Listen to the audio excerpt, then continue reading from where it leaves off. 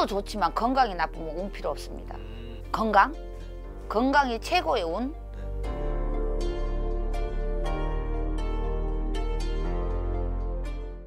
안녕하세요. 기다리던 대운의 시간입니다. 자 대운하면은 네. 그왜 이렇게 뭐 대운이 들어온다, 대운이 들어온다 이런 얘기도 해주시잖아요. 그렇죠. 근데 이거 일반인들이 어떻게 받아들여야 돼요? 어떻게 알 수 있어요? 대운이 들어오는 모든 사람들이 다 이제 대운 하면은 모든 일이 다 좋고 네. 잘될 줄만 알고 있는 게 이제 착각 속에서 좀 사는 거예요. 아, 네. 그래서 이제 제가 하는 말이 네, 대운이 들어오면 네, 이 세상에 네. 못살 사람 하나도 없다. 아, 대운만 믿고 살다가는 네, 그러면은 10년이라는 대운이 오는 기간 동안 네, 내가 그 10년이란 기간 동안의 노력. 네, 그것도 노력 없이 대운이 들어왔다 해서 물론 운이 안 좋은 사람보다 네, 뭔가가 슬슬 풀려갈 수도 있고 네, 또 뭔가를 시작을 할 때 어, 시작이 좋을 수도 있고. 네. 어. 그런데 이제 그것만 믿고 있다가는 시작만 해놓으면 어떡해요? 뭐 의미가 없죠.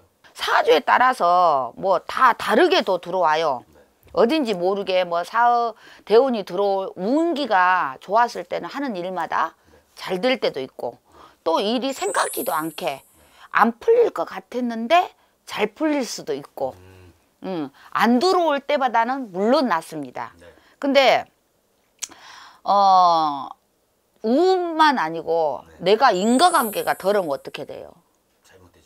사업을 하시는 분들이 대운이 들어와서 일은 뭐 계약도 잘 되고 막 다 해요. 네. 아, 나 올해 대운 들어왔더니 뭐가 잘 돼. 근데 직원들한테 못하면 직원들이 기쁜 마음으로 일을 할까요? 과연 그 사업을 잘 돼서 벌어들인 돈이 네. 남아 있을까? 안 남아 있지 않을까요? 그죠? 네, 그래서 이제 대운이라는 자체도 운기가 들어오면 물론 좋아요. 네, 좋지만 하는 일도 잘 풀리겠지만 네. 인과관계나 네. 어, 이런 것들이 굉장히 저는 중요하다고 봐요. 그러면 제가 음. 마지막 질문 하나 드릴게요. 선생님한테는 배운이 있었나요?